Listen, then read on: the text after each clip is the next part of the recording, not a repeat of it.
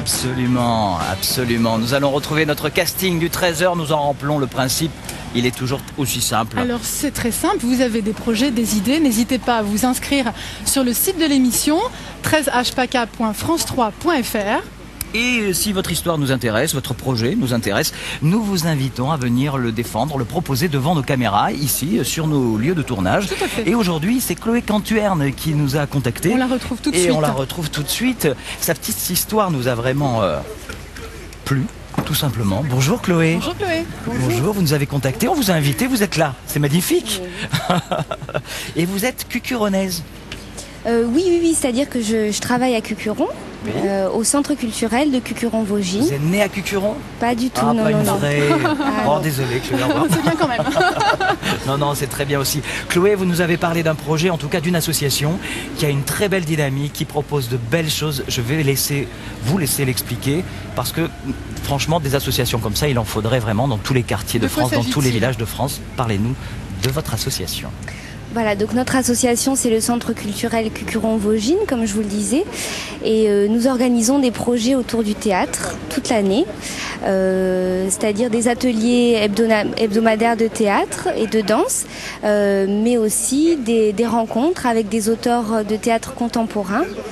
Et également, euh, des, nous accueillons des spectacles de théâtre. Alors Et- expliquez-nous mieux une chose, c'est que euh, vous, vous avez une dynamique, vous allez chercher les gens, vous leur proposez euh, vraiment de, leur simplifier la vie pour qu'ils puissent accéder au spectacle. Tout à fait. Tout à fait. L'idée, c'est de, à la fois de faire venir le théâtre euh, ici à Mais aussi dans les alentours, puisque on est en milieu rural, euh, et de faciliter l'accès au théâtre euh, dans les grandes villes également.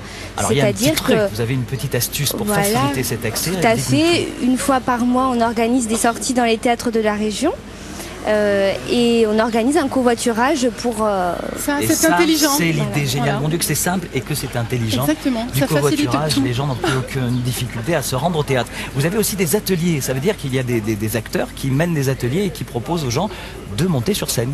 Voilà, on a des ateliers théâtre et danse une fois par semaine à Cucuron euh, qui sont ouverts à, à tout le monde. hein, euh. Et vous avez beaucoup de succès, il y a vraiment des gens qui n'y avaient pas pensé avant et qui se disent tiens, pourquoi pas moi?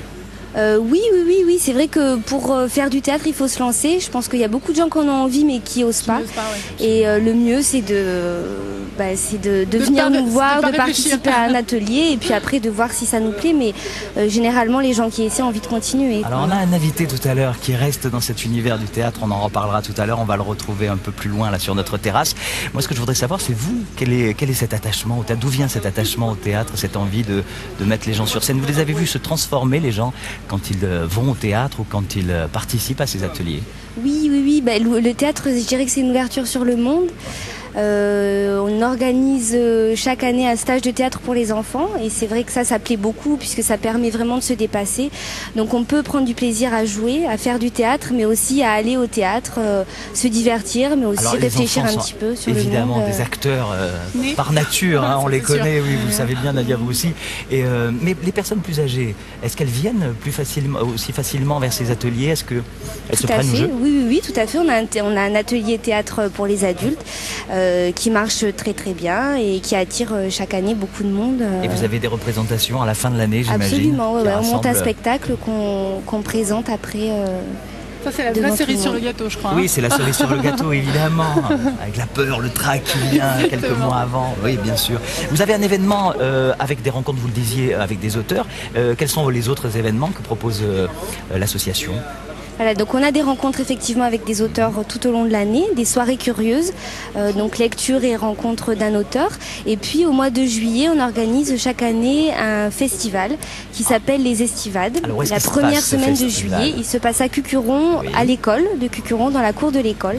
Donc c'est du théâtre plein air où on accueille des compagnies professionnelles et des compagnies amateurs. Et euh, chaque année, on a de plus en plus de monde. Le rendez-vous est noté, il ne noté, reste plus ça donne l'eau à la bouche. Bah, de- à lancer l'appel. Hein. Voilà, donc on vous donne Bien sûr. 30 secondes, Chloé, face à la caméra, on vous écoute pour votre appel. C'est Très parti. bien. Bien, écoutez, euh, rejoignez-nous au Centre culturel Cucuron-Vosgine si vous souhaitez faire du théâtre ou si vous euh, souhaitez voir des pièces de théâtre tout simplement. Euh, vous pouvez retrouver toutes nos informations, nos actualités sur notre site internet www.cccv.fr. À très bientôt.